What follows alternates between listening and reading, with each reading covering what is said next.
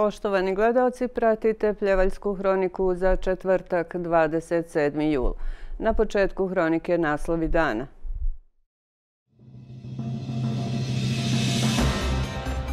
Na sedmoj sjednici Skupštine opštine Pljevlja razmatrano 38 tačaka dnevnog reda. Pokrenuta kampanja prepozna i prijavi trgovinu ljudima. Pozorišno ostvarenje otkačene u režiji Monike Romić izvedeno na velikoj sceni Centra za kulturu. Najmlađa pljevaljska publika uživala u dječjem mjuziklu Baš čarobna frula. Pozorišnom predstavom Prah počinju 37. dani humora i satire Vuko Bezarević. Jubilarni 15. ljetnji turnir u basketu za dane vikenda. Vrijeme s jutra pretežno sunčano. Na sedmoj sjednici Skupštine opštine Pljevlja odbornici su nakon izglasavanja odlučivali o 38 tačaka dnevnog reda. Na dnevni red su uvrštene još dvije tačke i to predlog odluke o ustanovljavanju stvarne službenosti u korist CEDIS Podgorica radi postavljanja elektrovoda na katastarskim parcelama i odluka o davanju saglasnosti na statut DO Čistoća Pljevlja nije donijeta odluka o završnom računu budžeta opštine Pljevlja za prethodnu godinu, izvještaj o radu predsjednika opštine i rad organa uprave i službi opštine Pljevlja za 2022. godinu, a nisu usvojeni ni izvještaj o radu za prethodnu godinu, deo vodovod, grijanje, Ustanova Narodna biblioteka Stevan Samarđić, Umjetnička galerija Vitomir Srbljanović i Dnevni centar za djecu sa smetnjama u razvoju i odrasla lica sa invaliditetom Pljevlja. Nakon konstatovanja ostavke odbornika pokreta Evropa sa Dana Markovića i imenovanja novog Radomana Desilića, bez primjetbi usvojen je zapisnik šeste sjednice Skupštine. Uslijedila izmjena dnevnog reda sedme sjednice pa su tačke od 14. do 19. uvrštene u prvih šest kako bi se upotpunili odbori i u pauzi razmatrale tačke dnevnog reda koje nisu prošle matične odbore. Pored 36 tačaka dnevni red je dopunjen sa još dvije i u cijelosti 38 tačaka dnevnog reda usvojeno je sa 22 glasa za većine i 5 glasova protiv opozicije. Ja bi sad na novom kolegijumu, to smo prije 10 godina tako uradili, dogovorili se da više od 15 tačaka je besmisleno zakazivati. Prvo da se odbornici pripreme, drugo da građani imaju šta čuti i da mogu saznati o čemu se radi. Odluka o završnom budžetu opštine Pljevlja za 2022. godinu nije podržana. Odbornik Milojica Tešović naglasio je da je budžet za prošlu godinu ostvaren 23,2 miliona eura, što je dobar pokazatelj, ali napomenuo da kroz analizu drugih pokazatelja dolazimo do realnih stanja. Sve ono govori koliko podatak da je budžet ostvaren u iznosu 23,2 miliona eura zamagljuje ocjenu o ostvarenju budžeta za prošlu godinu to što je iz 21. godine u 22. godinu prenijeto 5,2 miliona eura je pokazatelj lošeg rada prethodne vlasti na lokalu. Mislim da je takvo ponašanje bilo neodgovorno. Na jednoj strani imamo ogromne probleme u infrastrukturi, a na drugoj strani prenosimo neutrošena sredstva iz godine u godinu. Odbornik Marko Tošić naveo je da su ključni razlozi neutrošenih e, sredstava bili visoke cijene građevinskog materijala, sajber napadi u periodu avgust-septembar i loše vremenske okolnosti, a odbornik Harisa Lavać dodao. Iz kog razloga ona nisu mogla da budu utrošena? Pored ovoga što je kazao gospodin Marko Tošić, to nećemo da kažemo da su to sredstva koja imaju, moraju biti na posebnom računu, to sredstva iz eko naknade i mogu se trošiti samo za određene projekte, odnosno sanacija, degradirane životne sredine ili ono što se odnosi na ekologiju. I ovo ukazuje samo na to da nismo ta sredstva došli, uzeli i potrošili, nego da smo se domaćinski odnosili prema njima. Ja sam sa ove govornice, hoću da ukažem na vrijeme vama, a i cijelokupnoj javnosti, da svi zajedno moramo stati, bez obzira koje smo političke opcije, u odbranu već tih stečenih prihoda za račun budžeta opštine Pljevlja. Odbornik Božidar Jelovac skrenuo je pažnju da su predstavnici bivše vlasti koristili priliku kako bi saopštili da su vješto i sposobno sakupljali sredstva i ukazao da su nanijeli tim ponašanjem štetu građanima pljevalja od penzionera do privrednika i poljoprivrednika.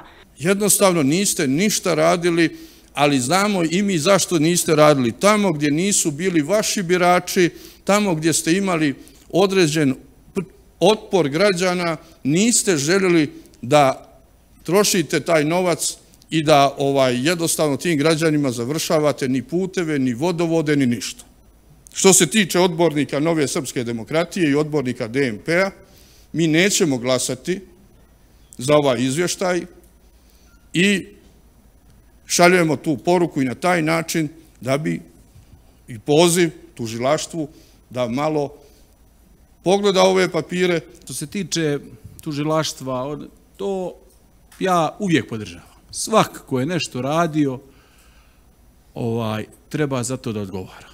U 2022. godini nije donijet budžet za narednu fiskalnu godinu, već je finansiranje izdataka vršeno na osnovu odluke o privremenom finansiranju prva tri mjeseca i privremenih mjesečnih planova april, maj i jun u saglasnost Ministarstva financija. Ukupni prihodi i drugi primici u prvoj polovini godine iznosili su 15 miliona i 58.000 eura ili 99,64% planiranih primitaka. Izdaci su u porednom periodu sa prošlom godinom ove godine niži za prvih šest mjeseci. Jednoglasno je usvojen predlog o radu Skupštine opštine Pljevlja za ovu godinu i odluka o utvrđivanju javnog interesa za ekspropriaciju nepokretnosti za potrebe priključenja lokalnog puta na magistralni put Pljevlja-Prijepolje. Nije podržan ni izvještaj o radu predsjednika opštine i radu organa uprave i službi opštine Pljevlja za prethodnu godinu uz obrazloženje odbornika Demokratske Crne Gore da je izvještaj preopterećen podacima bez suštinskih podataka, nijedan veći projekat nije završen, a komunalna preduzeća dovedena u težak položaj sa velikim dugovima, na što je odbornik opozicije Marko Tošić odgovorio. Projekti iz oblasti javne infrastrukture bili su prioritet u radu opštine Pljevlja u 2022. godini. To su uglavnom projekti koji imaju za cilj poboljšanje ekološke situacije u pljevljima, a odnose se prije svega na kvalitet vazduha i pitku vodu. Projekti upravljanja otpadnim vodama i mjere energetske efikasnosti. A odbornik pozicije Slobodan Radović dodao. Riječ je šturo o tehničkom dokumentu koji je objedinio nekolicinu manjih izvještaja i oni kao takav predat u ruke odbornicima posjećam u drugoj polovini 2023. godine. Ali mene to ne zabrinjava. Jasno je da je atmosfera među opštinskim rukovodstvom koje je tvorilo ova izvještaja bila, eto tako da kažem, močajnička, nije bila dobra, nije tu bilo dovoljno radnog elana da se u potpunosti predstavi, ako je bilo šta da se imalo šta da se predstavi, koje su to sve aktivnosti opštinskog rukovodstva. Prije svega, gospoda iz DPS-a i njihovi koalicijni partnera, oni moraju da odgovore gdje su gospodo projekti, gdje su ta nova radna proizvodna mjesta. Ja sam u ovom izvještaju imao priliku da i predsjednik Kovačević, odnosno opštinsko rukovodstvo, imalo niz sastanaka sa ambasadorima Bugarske, Turske, Finske, sa ambasadorima, predstavnicima zemalja Evropske unije. Koji su rezultati i ishodi svih tih sastanaka? S kojim ste projektima konkretno išli na sastanke sa gospodom ambasadorima? Šta su zaključci, zaključci tih sastanaka? Da li ste ubijedili njihove ekscelencije da oni kontaktiraju ljude iz svijeta biznisa iz njihovih matičnih država da dođu da investiraju u pljelja? A nije da nema razloga da se u upljevima da je nije bilo potrebe i da nije bilo razloga da se investira u samim pljevljima. Odluka o pristupanju izradi izmjena i dopuna statuta opštine Pljevlja usvojena je sa 20 glasova za poziciji i 5 glasova protiv opozicije. 13., 14., 15. i 16. tačka dnevnog reda su objedinjene, vođena je zajednička rasprava uz pojedinačno izjašnjenje i usvojene jednoglasno. Mi u materijalima znamo o čemu se radi, o tačkama o kojima glasamo i kojima diskutujemo, ali građani ne znaju, tako da mislim da je praksa da predstavnici predlagača ne uzmu uvodno obrazloženje, pa makar u trajanju od 30 sekundi zbog građana, da građani znaju gdje se, šta se radi, o čemu se radi, šta se to prenosi jednom, drugom, trećem društvu, gdje se eksproprišu nepokretnosti i slično, da nije dobro. Odbornici su jednoglasno usvojili odluku imenovanju opštinske izborne komisije u sljedećem sastavu. Bojan Potpara predsjednik, Bogić Gogić zamjenik predsjednika, Mladen Dragašević sekretar, zatim članovi i zamjenici Slavko, Dragaš, odnosno Slavko Drašković član, Petar Brašanac zamjenik člana, Nemanja Stijepović član, zatim Miodrag Rovčanin, zamjenik člana, Milan Marković, član, Dragoljub Mazalica, zamjenik člana, Denis Nuhanović, član, Emina Brković, zamjenica člana. Za direktoricu Zavičajnog muzeja Pljevlja imenovana je dosadašnja vršiteljka dužnosti Dejana Drobnjak. Na sjednici su razmatrani izvještaj rada preduzeća i ustanova za 2022. godinu. Nisu prihvaćeni izvještaj rada Deo Vodovod, Grijanje, javne ustanove Narodna biblioteka Stevan Samarđić, galerij Vitomir Srbjanović i javne ustanove Dnevni centar za djecu sa smetnjama u razvoju i odrasla lice sa invaliditetom. Jednoglasno sa 25 glasova usvojeni izvještaj javne ustanove Zavičajni muzej Pljevlja. Na ovom skupštinskom zasjedanju razmatrani su i usvojeni program programi rada lokalnih preduzeća i ustanova. Ministarstvo unutrašnjih poslova povodom 30. jula Međunarodnog dana borbe protiv trgovine ljudima pokrenulo je kampanju Prepoznaj i prijavi trgovinu ljudima. U cilju skretanja pažnje javnosti, građana, putnika, turista koji borave u Crnoj gori, o fenomenu trgovine ljudima, Ministarstvo unutrašnjih poslova Odjeljenje za borbu protiv trgovine ljudima u saradnji sa Međunarodnom organizacijom za migracije u periodu od 27. jula do 1. avgusta tekuće godine realizovaće kampanju pod nazivom Prepoznaj i prijavi trgovinu ljudima. Kampanja će se odvijati u 15 lokalnih samouprava, Podgorici, Ulcinju, Herceg Novom, Budvi, Kotoru, Tivtu, Baru, Nikšiću, Beranama, Kolašinu, Bijelom polju, Rožajama, Žabljaku, Pljevljima i Cetinju, uz čiju podršku će biti postavljeni štandovi, putem kojih će predstavnici ministarstva u saradnji sa lokalnim predstavnicima Crvenog krsta Crne Gore i nevladinim organizacijama pružati informacije o ovoj negativnoj društvenoj pojavi kao i službama za pomoć i podršku. Cilj kampanje je povećanje opšte informisanosti o najzastupljenijim vidovima trgovine ljudima, indikatorima koji mogu pomoći u prepoznavanju trgovine ljudima kao institucijama kojima građani mogu prijaviti svoju sumnju na trgovinu ljudima.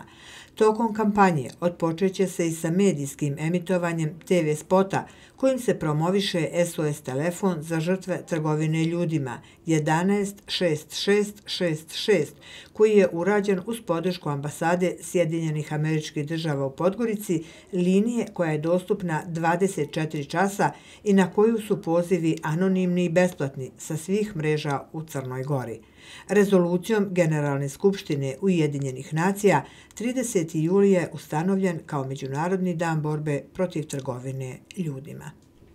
U cilju promocije i očuvanja tradicionalnih proizvoda od pljevaljske mirisne ruže, NVU građanske inicijative organizuje Dane ruže 28. jula u 16 časova koja će trajati tri dana od 16 do 20 časova u etnokući ruža u Pljevljima.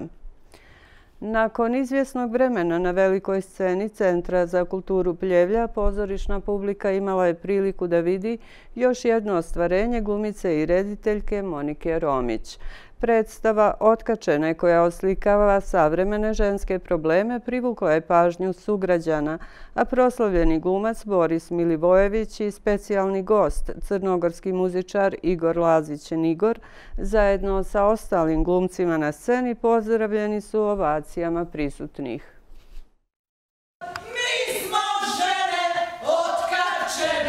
Predstava Otkačene rađena po tekstu Slavice Ljujić prati porodicu Jovanović u pokušaju da riješi probleme koji opterećuju savremeni ženski svijet. Ovo je nešto sasvim drugačije od onoga što je publika navikla od popularne glumice Monike Romić koja je režirala predstavu jer nosi dosta variacija ulogama, a i kada su gosti u pitanju. E, radnja predstave bazira se na ženske probleme. Jedna juri muža, druga karijeru, dok treća žudi za estetskim korekcijama. Savremeni problemi koji čini se sve češće opterećuju žene. Pa da, to jeste bila naša polazna tačka da napravimo komediju u kojoj će se svi prepoznati. E, da li će prepoznati sebe ili ali pre svega nekog iz svog okruženja e, i da se tome slatko nasmeju. Tako da je to nešto što na neki način i ukazujemo šta se dešava u društvu i kako dolazi do vrlo nekih velikih razloga, tipa da žena koja juri karijeru, ona samo juri karijeru i neće ništa više. Ili žena koja hoće da se uda, ona hoće samo da se uda i ništa više. Ili ovaj, eto, te estetske hirurgije od koji su postali mnogi zavisnici. Tako da nekako na jedan vrlo duhovit način, to je napisala napisala Slavica Ljujić, na jedan vrlo duhovit način smo obradili tu temu, to nam se dokazalo tokom ovih pet godina igranja, jer ova predstava evo, napunila peti rođendan uh, u aprilu. Tako da praktično gde god da dođemo zaista se svi pronađu, ali ono što mi je, e, čega sam se plašila, e, to je bilo da možda muškarci neće biti zainteresovani da gledaju ovo, međutim ne, naprotiv čak mi se čini da oni i više uživaju nego žene. E, tvrdoglavost danas postaje sve izraženije kako kod žena, tako i kod muškaraca. Da li ta jasna želja otvara i mogućnosti? Opa, E, E, pa sad, zavisi. E, nekad otvara, e, kada se ide pa ka pravom cilju, ka pravom fokusu, ta tvrdoglavost je vrlo važna, ali kada je u pitanju komunikacija, nije baš najbolja. Publika je ovacima pozdravila specijalnog gosta crnogorskog muzičara Igora Lazića Nigora, koji se i pored obaveza u muzici rado odaziva pozorišnim projektima, ali i televizijskim formatima. A da li muškarac ima rješenje za savremene ženske probleme, Nigor nam je dao svoje mišljenje. A boga mi, savremene žene su mnogo ovaj, postale komplikovane. Muškarci su imali uh, ovaj, vazda taj problem sa ženom od kad, od kad, od kad je svijeta i, ono, i pamti vijeka. Ovaj, e, znate kako, e, da, bi ne, da bi jedna veza opstala, da bi ti neki um, odnosi uh, funkcionisali, mora da postoji neka um, uh, iskrenost u, u, tom, u tom odnosu, uh, vjernost, uh, da jedan drugom vjeruju, uh, jer ako, ako ti žena ne vjeruje, i ovaj, onda, onda ti džabe sve i obrnuto. Druga su vremena, drugi su neki principi, generacije su potpuno drugačije, sve to ovaj, malo otrišlo na neku negativnu stranu vidimo dosta tih e, brakova koji su započeti pa nisu se ni, ni završili. U prvoj godini dosta mojih prijatelja a i boga mi i ovih starijih su se ovaj nisu nisu izdržali do, izdržali do kraja. Zgode i nezgode porodice Jovanović i ljudi koji ih okružuju pljevajsku publiku su zasmijali do suza pa je glumačka postava u čim sastavu i legendarni glumac Boris Milivojević nagrađen aplauzom i ovacijama naših sugrađana. Na velikoj sceni javne ustanove Centar za kulturu Pljevlja odigrana dječja pozorišna predstava Baš čarobna frula. Najmlađa publika mogla je da uživa u jedinstvenom interaktivnom dječijem muziku. Baš čarobna frula nije samo edukativna predstava. To je jedna igraonica rađena po tekstu Nikole Urinovića i rediteljke i producentkinje Monike Romić. Ona je nastala kao fuzija preplitanja različitosti u umjetnosti. Ovaj komad e, poručuje da je djecu potrebno učiti pravim vrijednostima, naučiti ih da uživaju u pravom odabiru muzike. U predstavi se nižu songovi na temu Mozarta, kako iz e, njegove čarobne frule, zatim čuvene arije Kraljice noći, duet e, Papagenio i Papagena, kao i popularne kompozicije, mala noćna muzika, turski marš i mnoge druge. Rediteljka i producentkinja Monika Romić objasnila je kako je nastala ova predstava. E, mi smo smislili tu ideju u vreme korone, i napisali smo zajedno. Posle toga ja sam režirala i pored Nikole igra i Jovana Mladenović u ovoj podeli. E, hteli smo da približimo e, Mozarta, operu, klasiku deci, ali na takav način e, na koji oni to mogu da razumeju.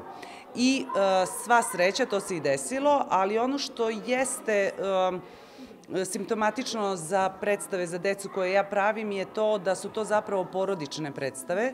Uvek se trudim da u njima uživaju i odrasli i deca i da to bude jedno kvalitetno vreme koje će provesti zajedno, e, posle koga će otići kući poslušati neku dobru klasiku, e, pogledati možda nešto više o Mozartu, na primjer Alisa u zemlji čuda, samo ih zaintrigiramo da pročitaju komad. Tako da e, na ovaj način utičemo i na roditelji i na decu, na više druženja, manje televizije i ostalih stvari nije bilo nimalo lako napisati jednu priču, približiti Mozarta djeci e, kao jednog dječaka koji traži svoju muzu, svoju inspiraciju. Nije nam bilo lako. E, komad je imao nekoliko e, varijanti, nekoliko verzija, zapravo u jednom trenutku je bio preozbiljan. U drugom trenutku je bio previše lak i tako dalje, dok nismo našli pravu meru sa kojom možemo da dopremo do dece. To je predstava i ne samo ova, sve moje predstave se e, konstantno e, e, i dalje radi, i dalje se radi na njima i mi konstantno radimo na tome da poboljšamo, da to bude još bolje i još bolje. Meru smo našli za Mozarta, sad ću da vam kažem, prošlog februara, gde sam ja rekla, e, evo ga, to je ono što sam htela. Tako da, to je važno da i mi pored dece rastemo. Nas inspirišu njihovi odgovori, E, kada pronalaze ko je ta koja dolazi izgubljena kod Mozarta, to su fantastični odgovori. Naročito deca iz Crne Gore obožavam predstave da se igraju e, pred crnogorskom decom, zato što su vrlo vispreni, vrlo inteligentni, vrlo maštoviti i daju najbolje moguće odgovore koje treba dati. Naravno, u narednom periodu je potrebno što više ovakvih e, predstava djeci iz Pljevalja, ne samo zbog edukacije kada je u pitanju pozorište, već zbog zabave u pljevljima. U okviru 37. dana humora i satire, sjutra u terminu od 10 do 12 časova u ulici Kralja Petra Pješačka zona događaj pod nazivom Slaviša Ševrtva s crta. Poznati karikaturista izrađivaće portrete besplatno a pozorišnom predstavom Prahu režiji Veljka Mićunovića 27. jula 2023. godine zvanično počinju 37. dani humore i satire Vuko Bezarević. Nastavljaju se u petak 28. jula u 19. časova humorističko-satiričnim miletisanjem u Milet Bašti. Pozorišnom predstavom Prah u režiji Veljka Mićunovića 27. jula 2023. godine zvanično počinju 37. dani humora i satire Vuko Bezarević. Tradicionalna trodnevna manifestacija posvećena profesoru Vuku Bezareviću, pljevaljskom piscu i eseisti, prepoznatom po svojim humorističko-satiričnim radovima, po kome pljevlja decenijama nose epitet humorističkog centra regiona. Po tradiciji, drugi dan manifestacije održat će se humorističko-satirično miletisanje u Milet Bašti. Ovaj program koncipiran je u tri segmenta. Prvi dio programa uh, upriličit ćemo jedan program za djecu u periodu od 19 časova. Znači to je u petak, 28. jula u 19 časova u Milet Bašti uh, počinje dječji program u kome će učestvovati Predrag Vuković-Peđolino, poznat našoj djeci od ranije, naš dragi prijatelj manifestacije Tode Nikoletić i Ratko Kraljević koji prvi put ove godine dolazi u Pljevlja. Nakon toga imamo jedan segment, segment humorističko-satiričnog miletisanja gdje uključujemo naše uvažene pljevljake Milka Grbovića, Milorada Joknića i Dejana Miličića kojima će se pridružiti isto tako radoviđen gost u Milet Bašti, Velizar Kasalica, poznati glumac i nikšićki humorista. U ovom dijelu takođe e, ljubitelji stand-up komedije imaće priliku da čuju dvojicu poznatih bosanskih stand-up komičara Hazima Mujčinovića i Filipa Androjka. Hazim Mujčinović je glumac, pored toga što se bavi stand-up komedijom, radijski i televizijski voditelj i showman, dok Filip Andronik, pored bavljanja stand-up komedijom, je i poznati strip crtač.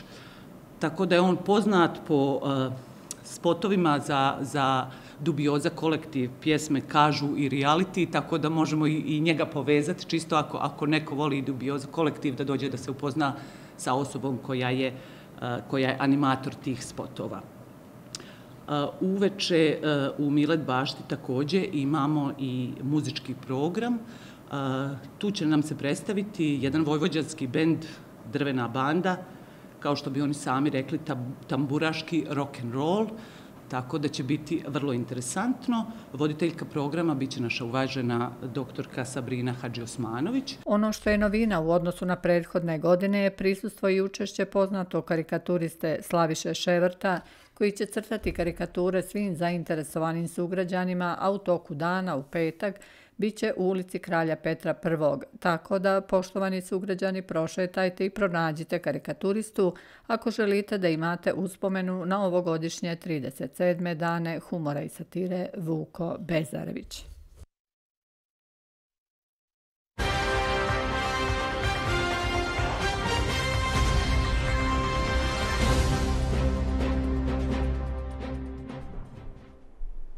Za dane vikenda na trgu Đorđija Peruničića održat će se 15. jubilarni turnir u basketu Baci drogu u koš. Najavljen je veći fond za nagrade sa posebnim akcentom na nagrade za publiku, koje su obezbjeđene upravo povodom jubileja.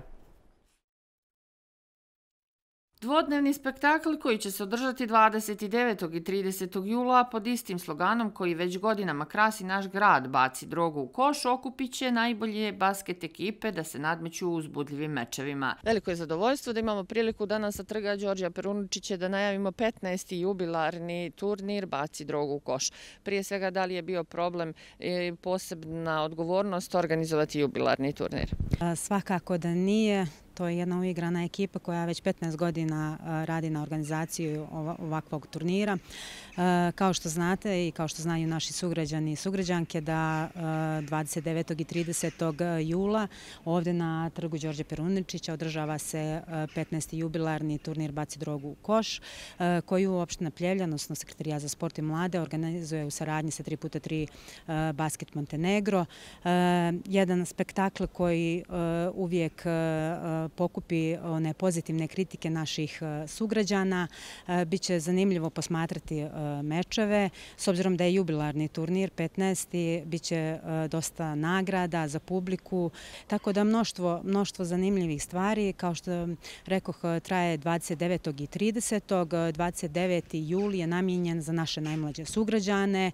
Ja sam to i u razgovoru sa organizatorima tražila da mi taj čitav dan bude posvećen mladim ljudima, da se uključe što više više mladih ljudi, djece, omladine tu do između 10 i 14 godina, tako da ćemo organizovati e, jednu E, COK ligu, e, Crnogorski olimpijski komitet, e, u saradnji sa košarkaškim klubovima iz Pljevalja i sa svom djecom koja se prijave na takmičenja. Imaće jedna liga kao za njih, imaćemo turnir za žene gdje imamo fond nagrada u visini od 450 eura. Prvo mjesto je 300, drugo 100 i treće 50. Svakako bit će i nagrada za publik po 50 eura za slobodno bacanje, za šutiranje trojki. Evo nekoliko važnih informacija o turniru. Najboljih šest ekipa po FIBA tablici izborit će se za mjesto u glavnom turniru. Organizator zadržava pravo da odabere još najviše četiri ekipe s prednošću za ekipe iz Pljevalja koje će direktno igrati u glavnom turniru. Ostale ekipe će imati priliku da nastupe na kvalifikacijonom turniru koji će se održati neposredno prije glavnog. Što se tiče e, glavnog turnira, odnosno u nedelju, imat ćemo e, e, glavni turnir, fond nagrada je 1000,5 eura, prvo plasirana ekipa osvaja 1000 eura, drugo plasirana 400, a 100 eura dijele znači najbolji trojkaš i najbolji ovaj, sportista koji će najbolje zakucati. Tako da eto, očekuje nas jedan jako zanimljiv vikend. Nadam se da će vremenske prilike ovaj, e, nam dozvoliti da se on održi i naravno evo da kažem i sugrađanima ukoliko ne dođe do toga e, turnir će se pomjeriti i ovaj, građani će biti blagovremeno obavješteni o tome gdje će se održati i kad. Iako su prijave još uvijek u toku, da li imamo okvirno koliko se ekipa prijavilo? E, trenutno se prijavilo negdje oko 16 ekipa za učestvovanje, a tri ženske. U odnosu na prethodne godine, da li je to veći broj ekipa? Pa tu se uvijek vrtimo kod tog nekog broja. Znači između 16 i 20 ekipa bude prijavljeno. Evo, dobre prilike da sve naše sugrađene za dane vikenda pozovemo upravo na ovo mjesto da proprate e, jedan turnir koji je zaista zavrijedio našu pažnju. E, tačno tako, evo i ja još jednom u ime opštine Pljevlje pozdravljam naše, pozivam zapravo naše sugrađane i sugrađanke, prije svega pozivam našu omladinu i djecu Pljevalja da se da dođu e, u subotu ovdje i upriličimo jedno jako zanimljivo druženje. Cilj organizovanja manifestacije je podsticaj mladih na aktivno bavljanje sportom, promovisanje zdravih stilova života i prevencija bolesti zavisnosti.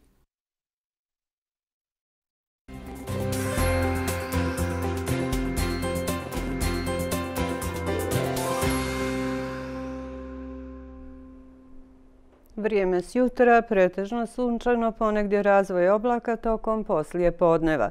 Na sjeveru ujutru po kotlinama moguća magla, vjetar, slab do umjeren, promjenljivog smjera. Jutarnja temperatura vazduha od 7 do 21, najviša dnevna od 23 do 33 stepena. Na kraju hronike još jednom naslovi dana.